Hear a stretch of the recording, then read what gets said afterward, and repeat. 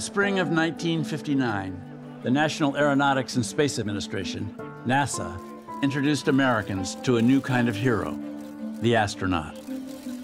Known as the Mercury 7, their mission was to rocket beyond the Earth's atmosphere, and they quickly became a national sensation. In the months that followed, their faces blanketed the news as the country waited to see who would become the first man in space. But far from the Project Mercury spotlight, deep in the New Mexico desert, the Air Force was also preparing to launch a man towards the heavens. With a fraction of NASA's budget and none of its renown, Project Excelsior was about to send Captain Joseph Kittinger 100,000 feet above the Earth. And he would get there not by rocket, but by balloon.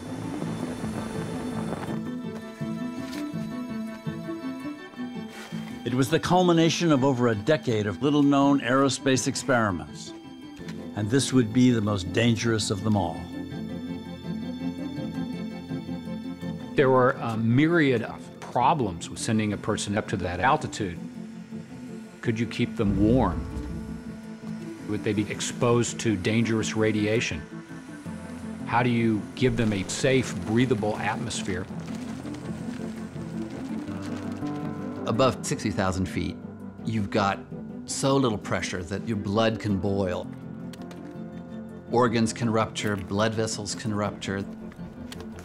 The temperature is 100 degrees below zero. There are just so many things that can go wrong. At 100,000 feet, you're above 99% of the Earth's atmosphere. So you might as well be in space. Though largely forgotten, balloonists were the first to venture into the frozen vacuum on the edge of our world, exploring the very limits of human physiology and human ingenuity in this deadly realm. Flying in a balloon to the upper reaches of the atmosphere perhaps seems odd, eccentric, even self-inflicted madness. But there's no question that these experiments fed into what NASA was about to undertake with Mercury. They answered a lot of questions. They answered a lot of big questions.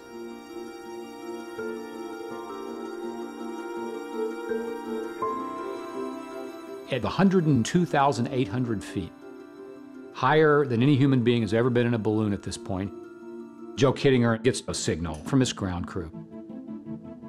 He stands up in the gondola, disconnects his onboard oxygen supply, says a little prayer, and steps off.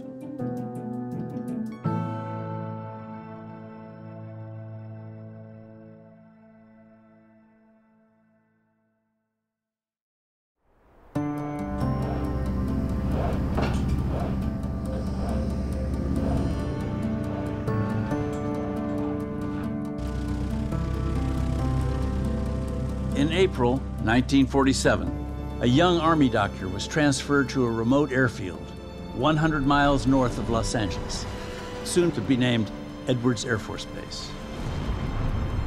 John Paul Stapp was a maverick in the burgeoning field of aviation medicine, and Edwards was just the place to be.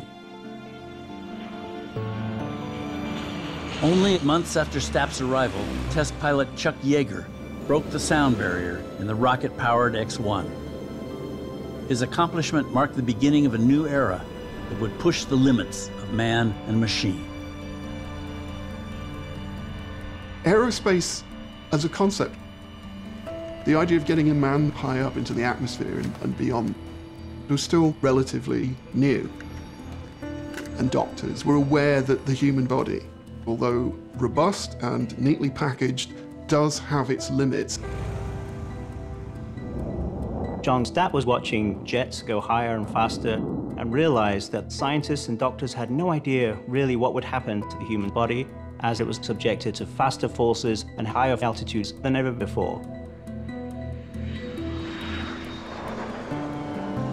And so Stapp decides to investigate what the human body can handle, how much speed we can handle, how much falling we can handle, how much altitude we can handle, and he starts to unpack this little by little.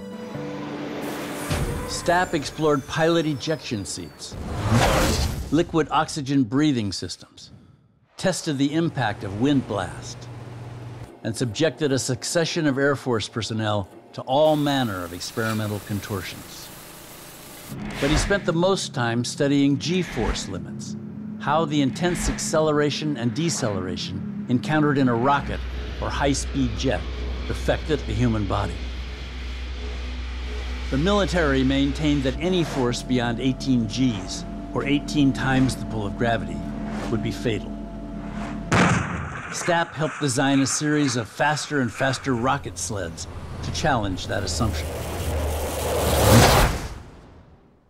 Imagine a soapbox racer made of aluminum on a railroad track with rockets on the back of it, which would be fired down the track and then slammed to a stop in just a few seconds.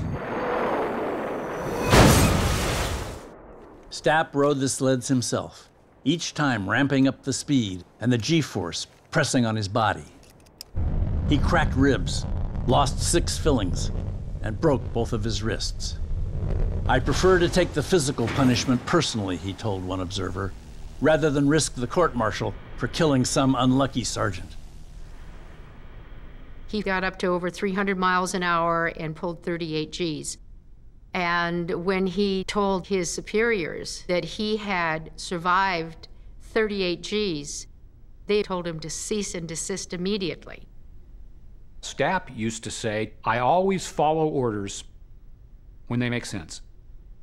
And he always pushed it a little farther than his superiors were comfortable with. On December 10th, 1954, Stapp took his experiment to the extreme. There were nine rocket engines on the back of that sled. And when they fired, Stapp said that he lost all orientation as he shot on this track in excess of 630 miles per hour. At the end of the track, Stapp slammed to a full stop in 1.35 seconds.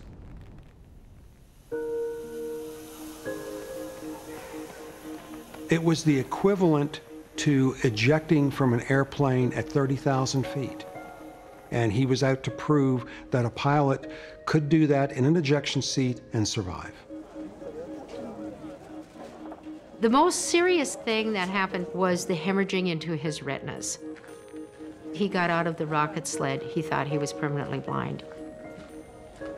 He was taken to the base hospital where gradually his vision came back.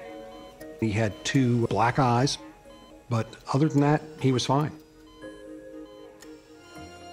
John Paul Stapp had set an almost inconceivable G force record of 46.2 and was heralded as the fastest man on Earth.